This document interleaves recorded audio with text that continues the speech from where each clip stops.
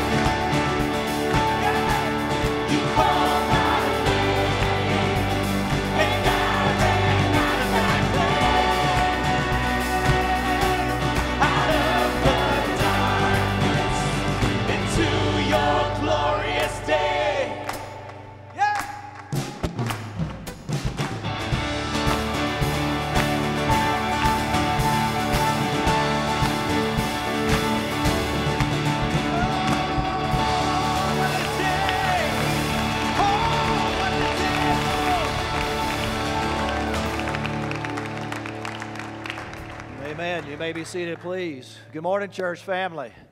It's great to see you here today as we worship the Lord and celebrate the good news of Jesus Christ, the fact of what God has done for us in Christ, knowing that we were once in bondage, we were in darkness, and God has rescued us and now placed us into a different kingdom, a kingdom of light, a kingdom of freedom, that we can enjoy a life in Christ. And listen, to live life the way God intended us to live and empower us to live that way. We'll learn more about what that means in a few moments.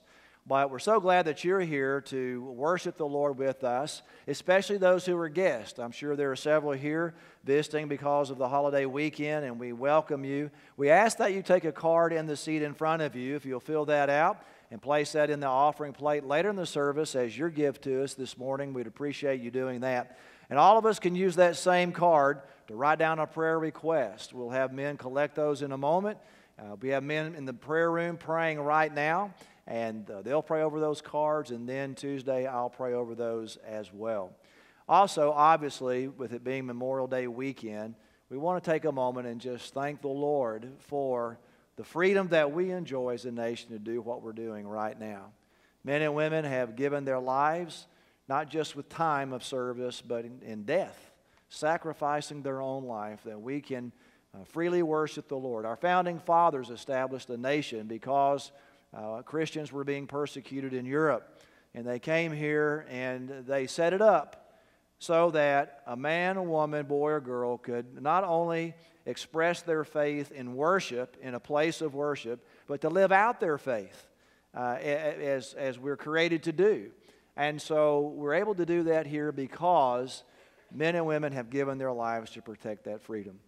Uh, my dad's uncle, when he uh, was in France, in 1944. He landed, and eight days later, he gave his life uh, for service of our country.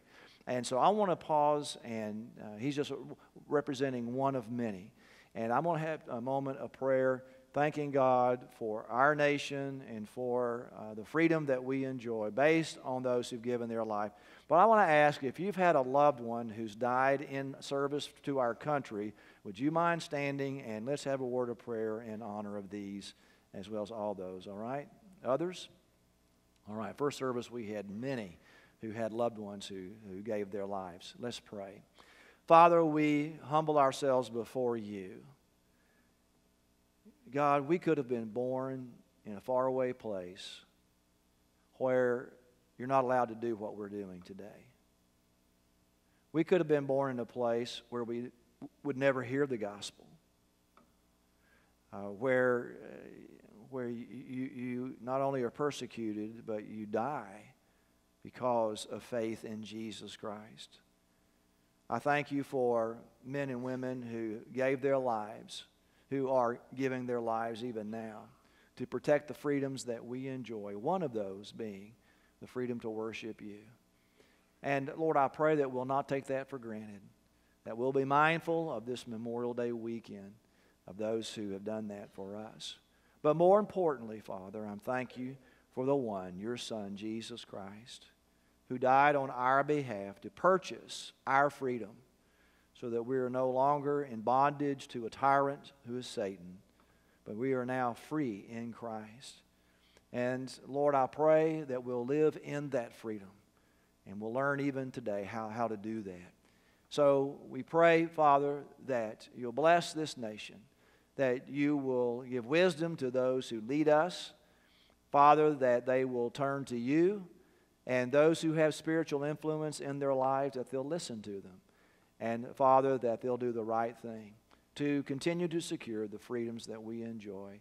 So we uh, thank you, Lord, for this brief moment to recognize what you have done for us, and we praise you for that. In Jesus' name, amen.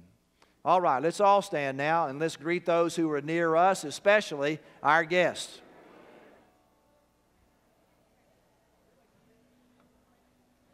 Hey, everybody, good morning. Glad you could join us. Here's what's going on at Lynwood.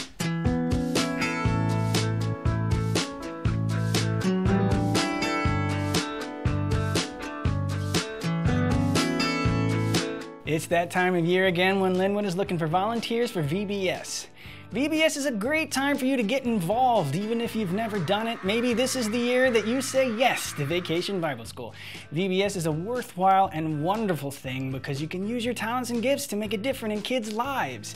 If you think you might be interested in helping touch the lives of children this summer, we urge you to jump on lynwoodbc.org and register as a volunteer. You won't regret it. The 2018 Honduras Mission Team is collecting donations out in the foyer today and next week. They're accepting items such as mild bar soap, baby shampoo, baby toys, baby blankets. The items are to be, to be delivered this October, but they will be collecting again in September. If you haven't downloaded the Lynwood app, you should, you really should. It's, it's a one-stop shop for all things Lynwood. Meet the staff, listen to audio and video of past services, check the church calendar, see what's on the Wednesday night supper menu, make online donations, all from the palm of your hand. Go to the App Store, search for Lynwood Baptist Church, and download it for free. Remember, there are no evening services tonight due to Memorial Day holiday. Enjoy your barbecue. As always, for more information on these announcements and much more, log on to lynwoodbc.org or try the app. And if you're a guest with us this morning, be sure to stop by the guest services desk out in the foyer for your free gift. And welcome to Lynwood. Let's all stand together. Let's give him our hearts.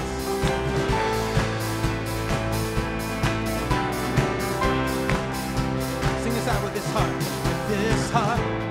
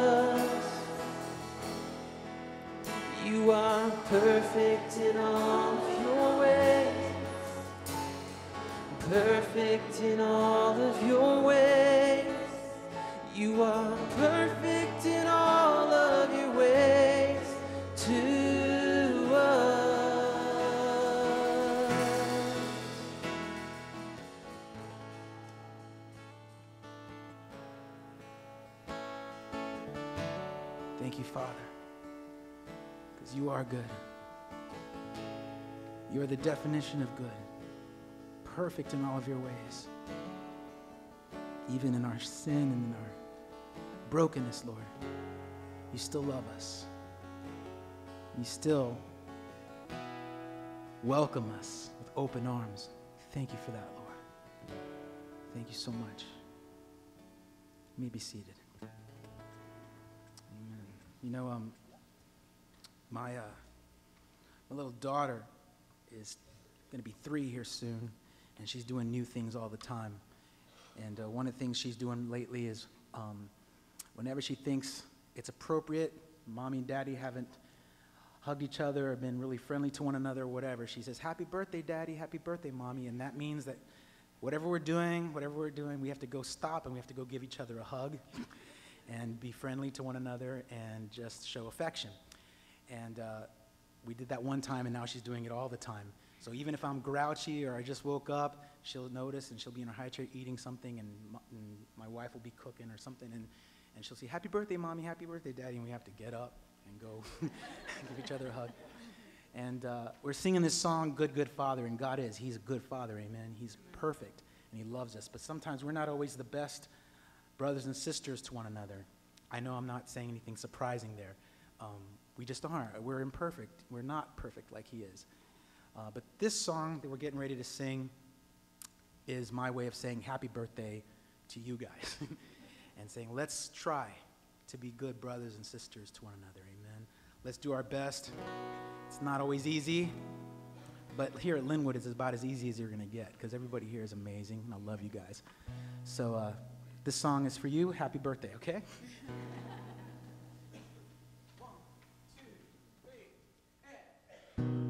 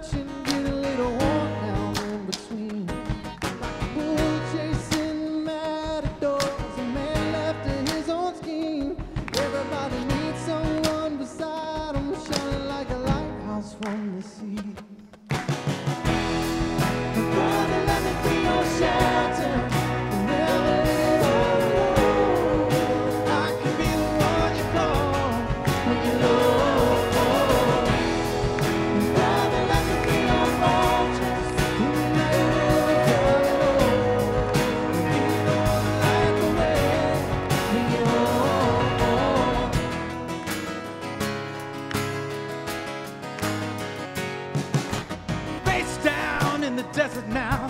There's a cage locked around my heart. I found a way to drop the keys where my failures were, but my hands can't reach that far.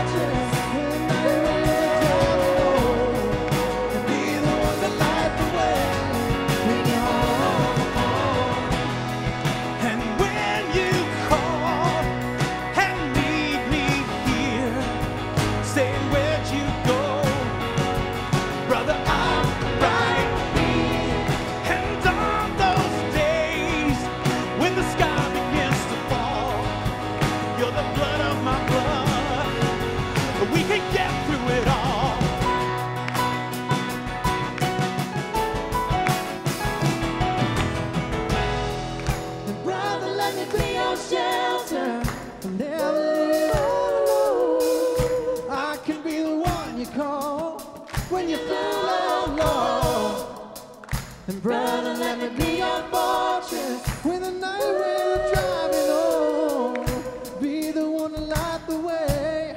Bring your home.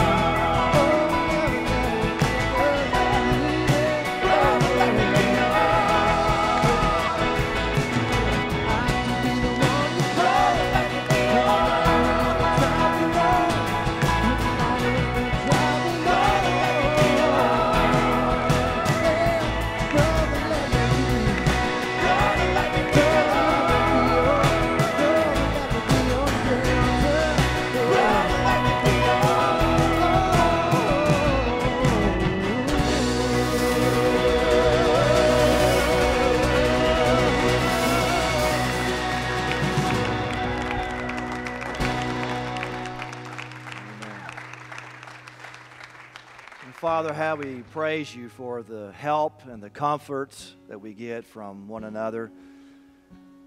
To know that your Spirit works through others to encourage us, to help us in our time of need. Father, I pray that you'll help us learn that from your word this morning.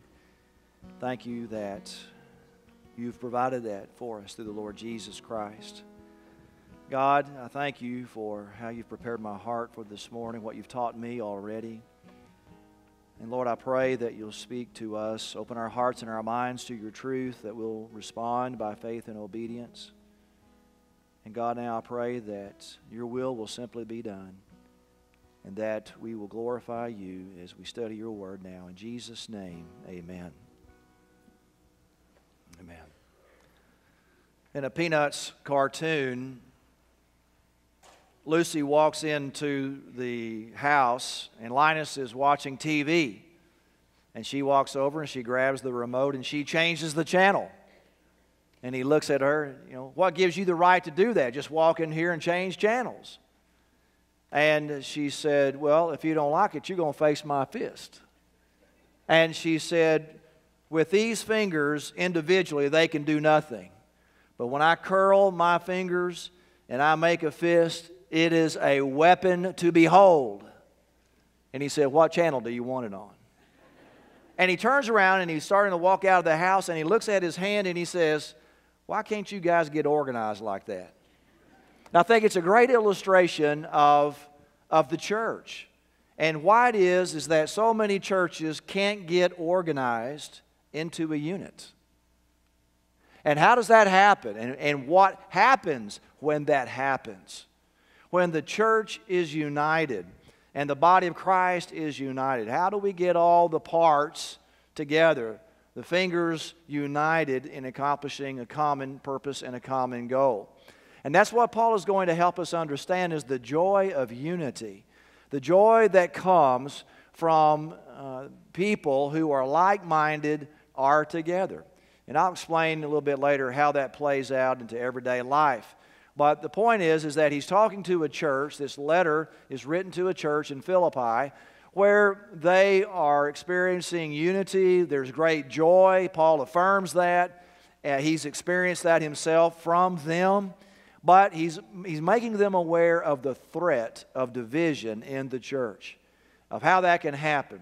Now, if you stop and look at church history, and even contemporarily look at it, you find that most churches really don't divide or have conflict over doctrine or particular practices of their faith. That can happen, and sometimes that should happen. There should be a, moment where you have to address a doctrinal issue. It, it's a test of faith. Remember what Paul said in 1 Corinthians chapter 11. He said, Sometimes there are divisions among you, and he says they're good because the truth is tested. Somebody has to be right when it concerns a doctrine or a practice that is unbiblical. You have to address that issue. But if you'll find most churches, they have their problems over preferences, over interpretations of, of, of, of what ought to be uh, happening in a church. And that's true in all of life, isn't it? Most of our conflicts are over the preferences that we enjoy. 1999 in Landover, Maryland, Holy Creek Baptist Church, true story. The church split. It was in conflict, and the church split. Not into two, but into four. The pastor was in conflict with the staff, the staff was in conflict with the pastor, and members of the church were in conflict with each other and with the staff. And so, what they decided to do, they had an outside pastor come in and arbitrate the conflict. And so, what they chose to do is they had a pastor who, who preached a particular service. Those who were like minded went to that service. They had four pastors. And so they had four services on Sunday morning, and you went to the church of your preference. Now, what in the world would divide a church over that? Was it doctrine? Absolutely not. You know what it was? Where the piano bench sat on the platform. Now, this is 1999, not 1950. 1999, they split into four services, four really different churches, because they had a bench that sat behind the Steinway piano. That church had existed for over 100 years. True story. Now, what do they divide over? Their preference. All right? And so they're not unified, they're not together. Now, in Philippians chapter 2, Paul is going to teach us about the joy of unity. And here's what he's going to say He's going to help us see that there is something that will inspire us toward unity. Something's going to motivate us toward unity. Several things, the inspiration for unity. Secondly, he, he's, he's going to help us see the indicators of unity. How do I know that I'm, I'm one with someone or in the body of Christ? How do we know that our church is unified? If I ask you that question, how would you answer that question? Man on the street interview, how do I know that Lynwood Baptist Church is unified?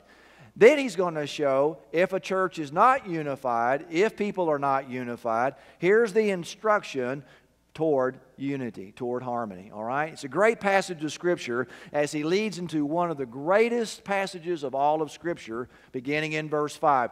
So let's go to Philippians chapter 2. I'm only going to deal with the first four verses. For those who are guests, we're going through the book of Philippians. And here's the theme of the book of Philippians. How to keep going with passion and joy. How to keep going in your faith. How to keep going when it's all when it's tough and everything's against you you're discouraged you want to quit you want to give up you don't understand what god's doing. How do you keep going? How do you persevere? But to do it with joy. The theme of this overarching one word is joy. But really it's in the context of suffering of endurance. And how do we do that? How do we going? So he's going to talk to a church. How do you keep going? And how do, how do you have the joy of unity in a church? Here's what he says. If then there is any encouragement in Christ, if any consolation of love, if any fellowship with the Spirit, if any affection and mercy, fulfill my joy by thinking the same way, having the same love, sharing the same feelings, focusing on one's goal. Do nothing, on one goal, excuse me, do nothing out of rivalry or conceit, but in humility. Consider others as more important than yourselves. Everyone should look out not only for his own interest, but also for the interest of others. So, Paul gives this clarity to this formula for unity. Now, what's the formula? Here it is. This is the sermon in a nutshell humility plus service equals unity. If you listen to the words that I just read, you'll, you'll, you'll pick that out. Humility plus service equals unity. When I humble myself, when I care about others and I'm serving others, it's going to create unity. Pride plus self centeredness equals disunity. You look at a church that's unified, why are they unified? They're unified for one reason it, it, the people are humbled before God, they're serving others, and they get it. Now, once you establish the vision, that's the formula. You've got to remember the vision that God has given us is the gospel of Jesus Christ, is the Great Commission. And uh, that's our focus. So once that's established, then how do we make it happen? And he explains that and brings clarity to it. First of all, I want you to notice the inspiration for unity. What should motivate me and motivate you to pursue unity in the church? Notice verse 1, he begins by saying, if. If there is any encouragement, if any consolation, if any fellowship, if any affection. Now, it sounds like he's uh, stating something as he's doubtful that these things are operating in the church. He, he, makes it sound that, that I, I'm questioning whether or not this is really going on. Well, this is not a statement of doubt, it's a statement of fact. In fact, there are four facts that he's giving. There are four ways in which you ought to be motivated. And he's, he's really having you look back. Here in this first section, what should inspire you is not what's going on between the people, it's between them and God. You look back and you see what God has already done in your life. If these things have happened in your life, that ought to motivate you and inspire you to pursue unity. And so let's look at that. What is he saying uh, with these four facts? Notice these four statements introduce the command in verse 2, which he says, Fulfill my joy or complete my joy. Make it complete. All right, so what are these facts that create unity and inspire us? Number one is God's encouragement. Verse 1 If or since there is any encouragement in Christ. This word encouragement is the same word that Jesus used in defining the Holy Spirit. It's the word paraclete. Jesus said that he's going to leave and there's going to be someone who's going to come to them and he's going to walk alongside of them and he is your helper. He is your comforter. And that's what he means by that. Well, Paul says Jesus is just like that. Jesus is our paraclete. Jesus walks beside us. And he is the one who gives us encouragement. That began when he saved us.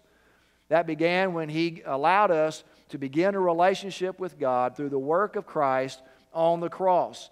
And so it means that somebody has come alongside of us and has given encouragement, has given counsel, has given exhortation. And that encouragement of Christ, that work of Christ in your life and in my life ought to inspire us to, to move toward unity. Christ has done that in my life, He's done that in your life, and so that helps me with my focus on moving toward unity. Notice a second indicator or some, uh, a second inspiration toward unity is God's comfort. Notice verse 1 again. Since any consolation of love. This is a very similar word to encouragement. It also has a, um, a preposition that is there that means to come alongside.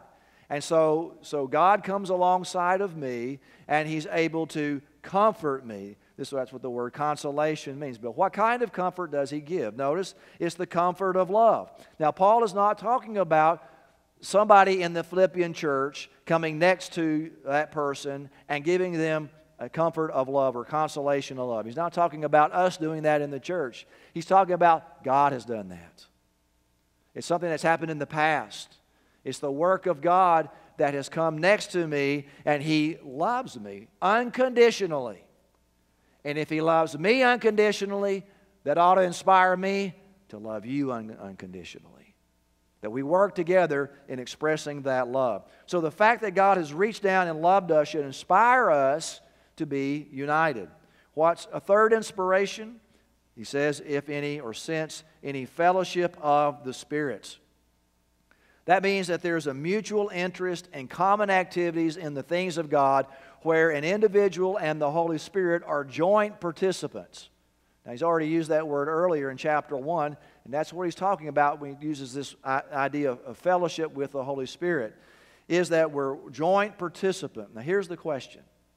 If every person, let's just take our church, if every person in this room who claims to know Christ, that means that the Holy Spirit is in you. If the Holy Spirit is in you and the Holy Spirit is in me, why is it that there are times that the church is not united? We all have the same Spirit. It's because we're not controlled by the Spirit of God. It's one thing to say, I have the Spirit. It's a whole other thing to say, I'm controlled by the Spirit. What's Paul say in Ephesians 5? Don't be drunk with wine, but be filled with the Holy Spirit. The word filled there means they're empty and they need more of the Spirit. It means you have the Spirit. It means to be controlled by the Spirit. It was a word that was used when they put a bit in a horse's mouth and controlled the horse. That's the word that's used here. So I'm this wild, untamed animal without the Spirit of God. And the Spirit of God comes in and puts its bit in my mouth and it controls, it, d- gives direction to the horse, it gives direction to my life. All right? So we're being controlled by the Spirit. We're joint participants. A.W. Tozer said this it's a great illustration. He said, If I have a 100 pianos in the room, and I tune all 100 pianos to a tuning fork, automatically, all 100 pianos are tuned to each other. Why is that? Because they're not tuned to one another. I'm trying to be kind to you. I'm trying to help you. I'm trying to love you. I'm trying to do this. I, I, I, I, I. He says, No. That individual piano is tuned to an outside source that is absolute, it is perfect. And your life and my life, we're not tuned to each other we'll be a mess. If you're, if you're tuned to me or I'm tuned to you, it's not going to work. But all of us, our piano, our life is tuned to a perfect, absolute standard, a tuner, Jesus Christ. And when that happens, we're automatically in tune with each other. So the question is Has your life been tuned by the Holy Spirit? Every day it has to be in tune with the Holy Spirit. So we're all one.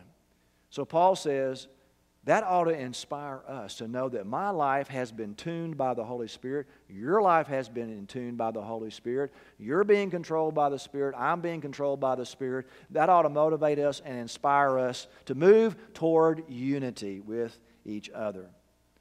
So he gives us this idea, fourth, of inspiring toward unity through God's grace. Notice if or since there is affection and mercy. The word affection, we've looked at it before already, and it means bowels. This word was used to describe the inner person, and it meant where the emotions are seated deep within us. And he says, God has this deep, deep love for us. Again, he's not talking about the love that the Philippians have toward one another. It's the love that God has for us. And He's shown, He's manifested that love, that affection toward us with His mercy. Now, where do we see that? On the cross. If you want to know, if you want to know what God thinks about you and how He feels about you, you just look at the cross. And you see His affection and His mercy. He acted out on that affection. That's what mercy does. In a courtroom, a judge shows mercy. The act of the judge has demonstrated the way he feels about your certain situation. And so our high judge has shown his love, his affection toward us by the cross. And when we have that common grace, that ought to inspire us toward unity. When I think of God's encouragement, God's comfort, God's fellowship and God's grace. That should inspire me and that should inspire you to set aside our preference about where the bench sits on the platform. And that we come together to be unified because of the prior work of God in our life. All right? So that's the inspiration for unity. Notice, secondly, the indicator of unity. How do I know? How do you know that we are unified. Notice what he says. First of all, he introduces the idea with this uh, command fulfill my joy. Bring to completion what has already begun. Now, what does he mean by that? He's in prison. They have created joy uh, in him, in his life, because of the way they have loved him, they've supported him. He's under house arrest. He has to pay for his own rent, remember. Uh, we, we learned that in Acts chapter uh, 27 and 28 where he has to pay for his own rent. He's under house arrest. People can come and go. He's chained to a soldier. Uh, but this church has helped support him to pay so that he can have that place to live while he's waiting to appeal before Caesar, before Nero. And so he, he's expressing that love. Now, make my joy complete, fulfill it even more by loving each other in the congregation. You see, his focus is not on his own personal joy, he's more concerned about the health of the church. That's what's going to create joy for him, is what's going on in the body of Christ. Can I be honest? You want to make my joy complete? Well, that's, that happens when a church is unified, when a church is together. Now, I have a lot of joy in my heart as your pastor, as I'll share in just a moment. So he says there is this joy. Now, the four indicators of unity are this. Number one, he says, thinking the same way. Paul's encouraging a single mindset among the Philippian church. It's not just something that is intellectual, it's not a set of facts to know, but it is intentional. It's an act of the will that you're thinking this way. It, it's a common understanding and agreement that you have that everyone should be like minded. It doesn't mean that I have differences of opinion, uh, anything like that. It's not conformity. There's diversity, but unity that is created when we're like minded. Now, he'll explain the kind of mind that he's talking about in the following verses. What is it? The mind of Christ. It's one of the early church hymns in the New Testament that we see. In the verse 5 and following is about the mind of Christ. What Christ has done. Have this mind which was also in Christ Jesus, who humbled himself, took on the form of a servant, etc. And then he humbles it by going to the cross. So that's the mind that we're going to talk about next Sunday. So he, he, he, he says, This is the way you need to be thinking. And if you're thinking that way, then that shows unity. If everybody's thinking the same way. Secondly, he says another indicator is having the same love. The Philippians are to have the same love toward one another. Why? Because he's, God has expressed his love toward each other the same way. God doesn't love you differently from me. He loves you the same way He loves me, and He loves me the same way He loves you. There's no difference. We're all sinners, and we all need to be saved. We're all standing at the foot of the cross, regardless of what sin we've committed. Any sin has separated us from a holy God, and the only way that we can have a relationship with God is by what Jesus did on the cross when He shed His blood for us. That's where we all stand. And so he says that we have this same love toward one another because of this love that he has for us. Again, it's not simply an emotion of love, but it's a love that is an act of the will. It is intentional. Love is active, it's not passive. It's more than saying, I love you. It means I'm living that out in my faith. So when we have the same love for one another, then it shows a sign of unity. What did Jesus say in John 17? They will know that you are my disciples by the way in which you love one another. Talking to the believers. How we love one another is a sign out there that we are one. Notice he says another indicator that a church is one is sharing the same feelings. That means we are a one souled, literally. It's the only time this word is used in the New Testament. It means acting selflessly toward one another, not self centered, but God centered and other centered. And when that happens, that produces harmony in the church. It's an indicator. Focusing on one goal is another indicator. What's the goal? The goal, listen, of every single church is the gospel of Jesus Christ. It's the Great Commission. What did Jesus say? Go into all the world and make disciples of all nations, baptizing them in the name of the Father, the Son, and the Holy Spirit, teaching them to observe all things that I've commanded you. And lo, I'm with you always, even to the ends of the earth. He, he, he, he says that's, that's what we ought to be doing. What does that mean? What's the goal of this church? Now, everybody has to be on the same page in order for there to be unity. It means our purpose as a church, our purpose as individuals who claim to know Christ is to lead people to saving faith in Jesus Christ, to disciple them, help them grow and mature in their faith, so that they are sharing the gospel with somebody else and they're investing in their life and helping them grow and mature in such a way that now they are able to teach somebody else and the cycle continues. That's the process of multiplication. Again, remember what Paul told Timothy, a young pastor, 2 Timothy 2 2. The things that you've heard from me, the same commit to faithful men who will be able to teach others also. Now, as I said last Sunday, I went into more detail about this. This is what it's all about. Everything that we do here is about what happened just a few minutes ago when Justin Cummings got baptized, who just finished 13 years of walking around dirt roads in Iraq and Afghanistan finding bombs to save the lives of our troops. Now, try that for a job for 13 years. And God has saved him by the gospel of Jesus Christ. Now, that's what it's all about.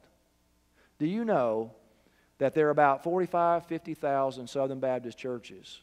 Last year and almost every year, uh, roughly five to 6,000 of those churches will never baptize one person in a year. And almost every Sunday, we are seeing somebody coming to faith in Jesus Christ, either in church or out there or on Tuesday night and celebrate recovery, or through other ministries of our church, almost every Sunday we're baptizing somebody who's come to saving faith in Jesus Christ. Now, you look around you find how many churches are actually experiencing that. Not many. And the reason why not many are doing that is they don't have the same goal.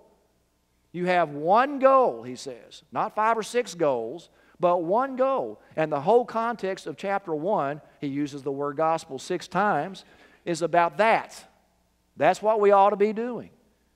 And when we have that one goal, that's an indicator that a church is unified. I thank God. Our church is not perfect, but I thank God that I think we understand that. Here's how we say it inviting all people to become committed followers of Jesus Christ.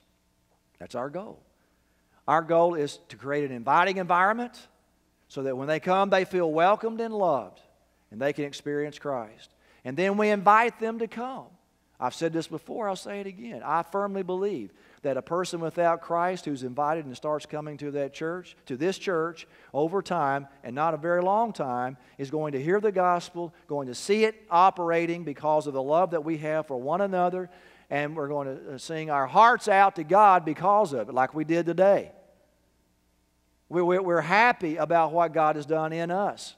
And they're going to experience that, and then God is going to touch their heart and draw them to Himself because the gospel is the priority of this church. I firmly believe that. And, and when that happens, it's a great encouragement. I got an email last night. I'm going to share it next Sunday because I want more people here. It's a holiday weekend. So I'm, I'm being fleshly right there. I admit it, okay? But I'm going to read it next Sunday. An email I got last night of a family who visited our church in February. Phenomenal experience, they said, of how they got to this church, of what happened when they drove onto the parking lot and when they walked in the foyer, and what happened in here, and what's happened since then. I, tell you, I'm so proud of this church. I, I had nothing to do with it. You'll, you'll laugh about it next Sunday because I had nothing to do with it of what, what God is doing. You see, when a church is unified, there's great power, there's a great force. When all the fingers on the hand are organized into one unit, it's a positive force that cannot be stopped. It's a magnet. It's the love of Christ. And so that's what Paul is saying. That's the sign. Those are the indicators of a church that is unified. Now, notice finally, well, what happens when you're not unified? How do you get back to a church that is unified? Well, he says this the instruction for unity. He gives us five ways to achieve that. I'll go through them quickly. Verse 3, notice he says, Do nothing out of rivalry. That could be translated selfish ambition or self seeking or selfishness. Philippi had a stratified culture, as most of the Roman Empire did. You had all these different levels of people, and it created uh, a, strata, it created divisions in the culture. You, and, and, and so there, was a, there wasn't a sense of unity in the culture, and it affected the church. You had these different stratifications in the church. And, and it was demonstrated by this idea of do nothing out of rivalry. When you think of the word rivalry, it means that there are competing forces against one another.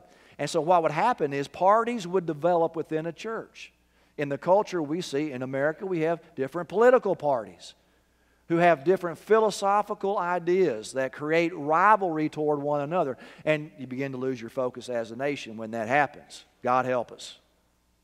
And it can happen in a church that divisions, pockets of division and rivalry, contention, four different services because of a piano bench. It seems ridiculous. But that's how the devil operates. He said, Do nothing out of rivalry, out of anything that is selfish in nature. Leads to the next one, verse 3. Do nothing out of conceit. Literally, it means empty glory. Your translation may say vain glory. What does that mean? A person has an exaggerated view of himself. He thinks more of himself than he really is. Have you ever met somebody like that? They're always talking about themselves, always talking about what they've done. They don't ask you any questions. You're the one having to ask all the questions in a conversation. And they have this high view of themselves. And he says, Don't think like that. He said, You got to stop thinking like that if you're going to be unified. If everybody has an exaggerated view of himself in a church, what's going to happen? Disunity. It, it, it's going to dissolve it's going to fracture and splinter off into all these different factions. Three, verse three, in humility, consider others as more important than yourself. Could be translated, have humility of mind. Being on the same page, having one goal, as we stated earlier. The Greeks, when they used this word, it was never used in a positive way. They would use this word to speak of a slave who was low born. That's how that word would be translated. He was low born. Very negative connotation when this word humility was used. Uh, it was not a virtue. The Jews, when they used this word in the Old Testament, when God used this word in the Old Testament, then uh, we see that it, it, it states a lowly person or a humble person. And, and God comes to help the lowly and the humble.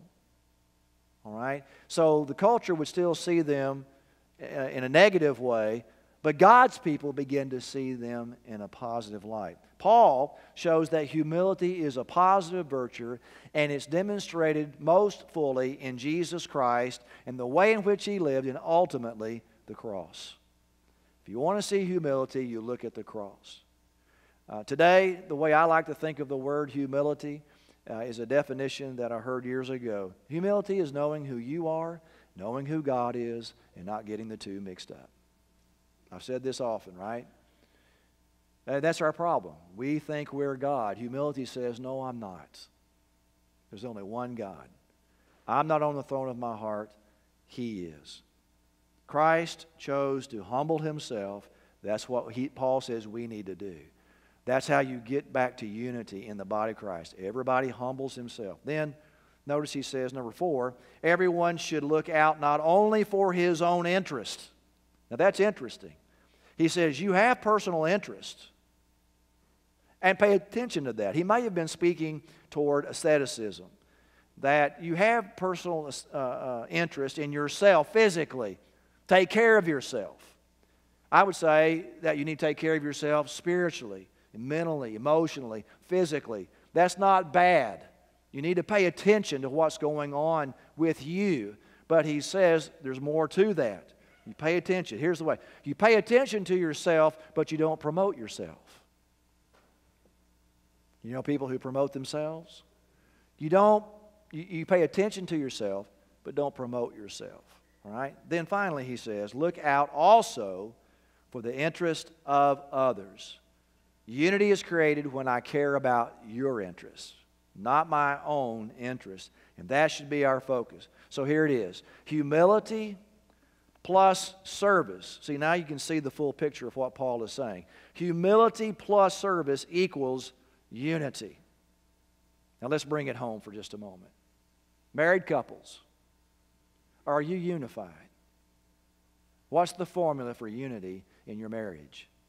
Humility plus service toward your spouse equals humility. Pride, self centeredness equals disunity in the marriage. Right? How about work? You want unity at work? You want everybody on the same page? Humility plus service equals unity. You're going to have a successful business. Pride plus self centeredness is going to create disunity in your business. It ain't going to work.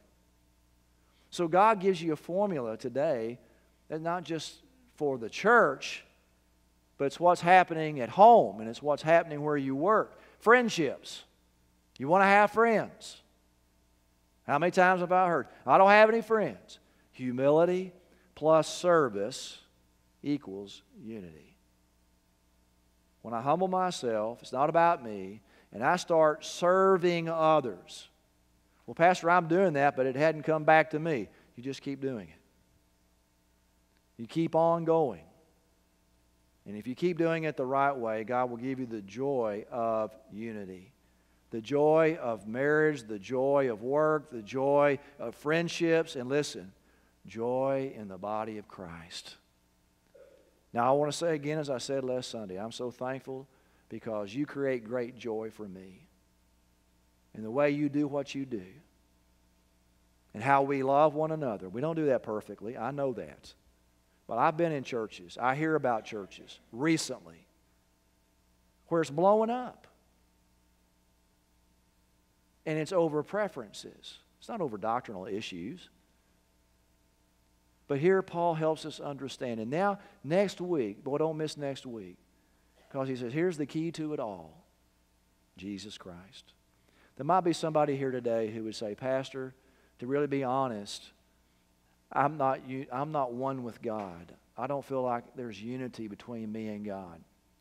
Paul makes it clear in Romans that we're either at war with God or we're at peace with God. We're an enemy of God or a friend of God. There's no middle ground. Positionally, that's where we are. And he said, all that can be reconciled through the cross of Jesus Christ. It's when I humble myself to what God has done for me, and I acknowledge that. And I just don't believe a set of facts about the work of Christ, what he did on the cross, but then I turn from my way, my sin, and I turn to Christ and I go His way.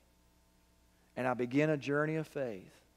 And I experience that oneness with God. For some of you today, that's what you need. You need to be one with God, and there's only one way that can happen, and that is through the cross of Jesus Christ. Secondly, there are some here today, many who say, I know the Lord, but there's, there's discontent, there's disunity. It could be with somebody in the church, it could be at home, it could be at work or a friendship or whatever. Now, I've given you the formula. And you know, you know where that place is that you need to change. And you need to humble yourself before the Lord. That means I admit that I'm wrong. I admit that I don't have all the answers. I admit that you're God and I'm not, and I'm going to let you be on the throne of my life, and I'm going to start serving others. I'm going to consider their interest as more important than mine. That's hard to do, isn't it? You see, we can't do that in the flesh. We need the power of God in us to make that happen. So, what does that mean? I need to be controlled by the Spirit. I need to let the Spirit of God put His big bridle in my life and begin to steer, control me so I don't get out of control in what I say or what I do. And then there's unity, right? Some God may be leading to become part of our church family. Again, not a perfect church, but I believe we are a unified church in our goal and our purpose and the way we love one another and help one another. And we would love for you to be a part of what God is doing here. Because, listen, unity advances the gospel of Jesus Christ. Disunity thwarts and hinders the gospel of Christ. If that's our goal, unity is paramount. Because unity creates an opportunity for us to preach the gospel, to live out the gospel, and to see it work. But we'd love for you to be a part of that here at Lynwood. Others may just need to come and pray. You need to talk to somebody. We're prepared to help you. Even if you don't know what to say or do, you come and we'll help you. Father, thank you for the power of your word and the power of your Spirit that bears witness to your word in our hearts. And help these now who need to make commitments to you, who need to respond to the pull of their heart by your Spirit. And Lord, I know what the enemy is doing. He, he's trying to keep us from humbling ourselves. He's trying to convince us you don't need to do that. You don't need to say you're sorry. You don't need to try to correct that. Just let it go and move on. But that doesn't solve the problem.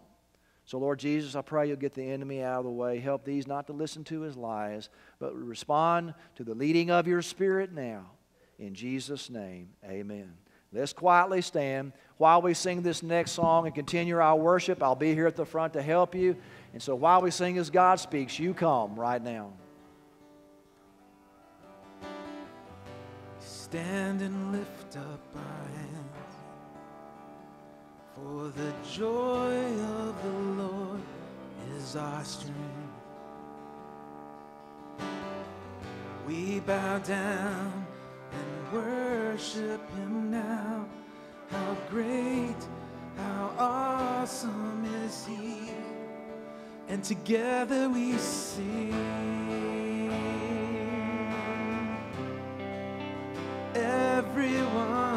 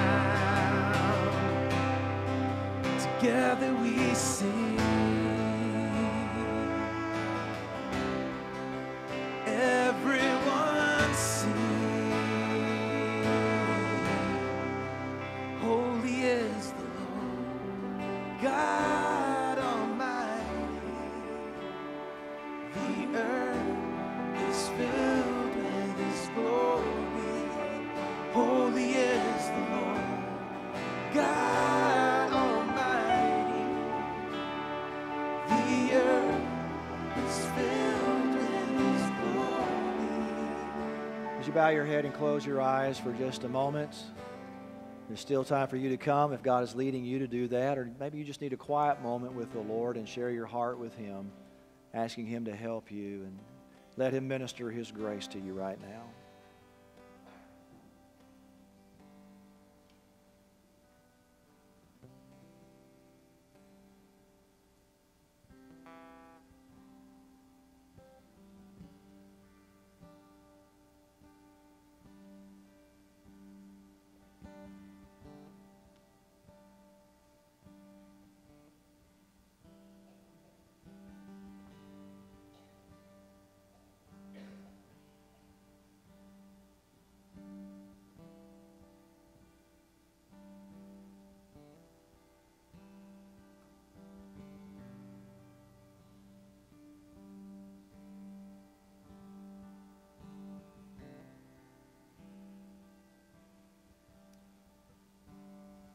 Father, thank you for just being here this morning. We sense your presence. Thank you for ministering to our hearts, helping us at the point of our need. Thank you that we have a God like you who encourages us, who inspires us uh, to move toward unity in relationships in the body of Christ. Because that's how the world really sees who you are in us.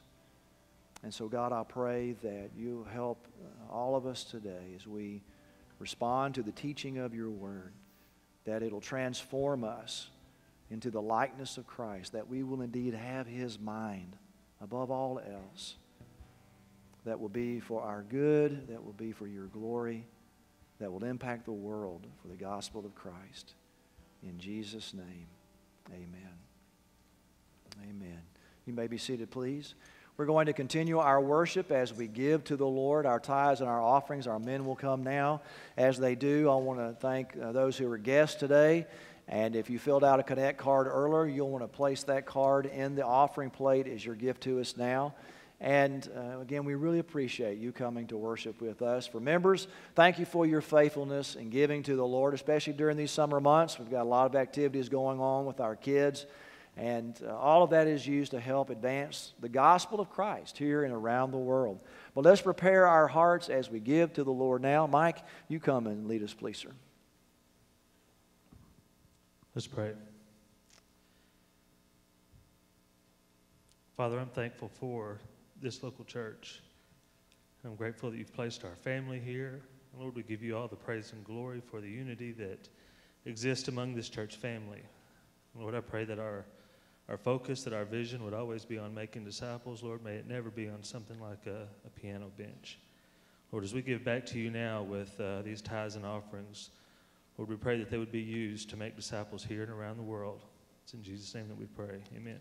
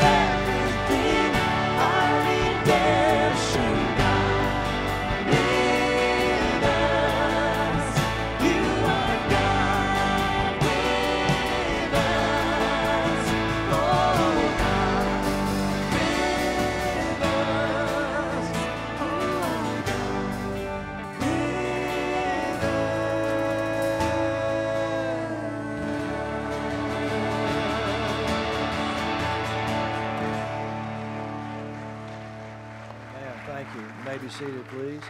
Great encouragement to know that God is always with us. Amen. Uh, this afternoon, we don't have any activities or any service this evening. Hope you'll have an enjoyable time with family and friends. And uh, I want to say thanks to Gretchen. Gretchen for filling in, new member of our church, filling in for Billy. Thank you, Gretchen. Appreciate it very much. For those of you who are guests, if I've not had the opportunity to meet you personally out in the foyer, I'd love to do so after the service. And I pray that God will empower to you to live a life that reflects the love of Christ to others this week. God bless you. You're dismissed.